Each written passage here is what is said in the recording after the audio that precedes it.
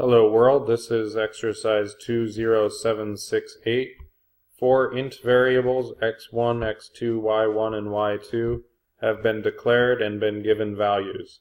Write an expression whose value is the difference between the larger of x1 and x2 and the smaller of y1 and y2.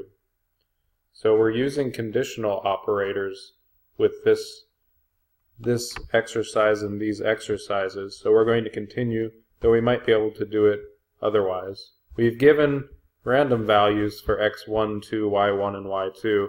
Let's talk for a second about what we want to see. The larger of x1 and x2, so it'll be 9, and the smaller of y1 and y2 will be 2. So the difference between them will be 9 minus 2, so we should get 7. And we're going to have a, a, print statement so that we can see our result.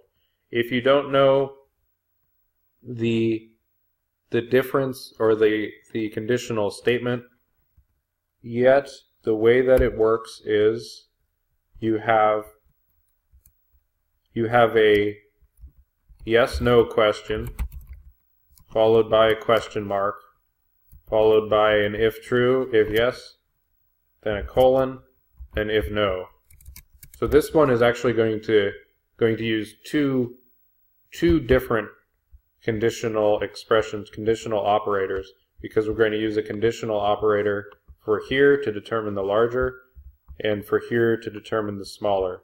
And this is actually a value. Though the value is one of two things, this is considered a value. So let's just, inside our print statement, we're going to double this so we have our two values and then we'll just replace it. So the statement will print what we want, which is the larger of the xy, we're going to plug in to make that that, the difference, so minus, and then the smaller of y1 and y2.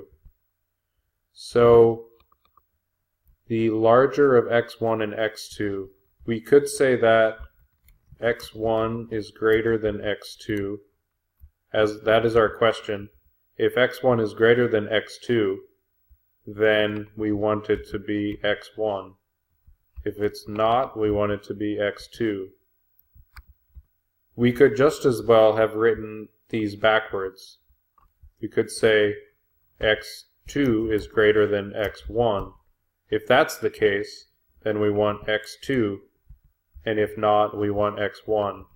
So there's different ways to, to write this answer. I'll leave it like this for no particular reason. It's all right.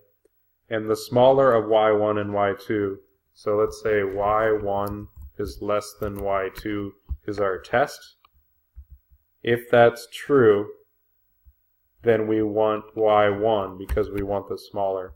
If, if it's not true, then we want y2 so this should give us 9, this should give us 2, and this, which will be our whole expression, should give us 7. Let's compile it and run it and see how we did. We have our 7 here, so we have our answer. That is our expression.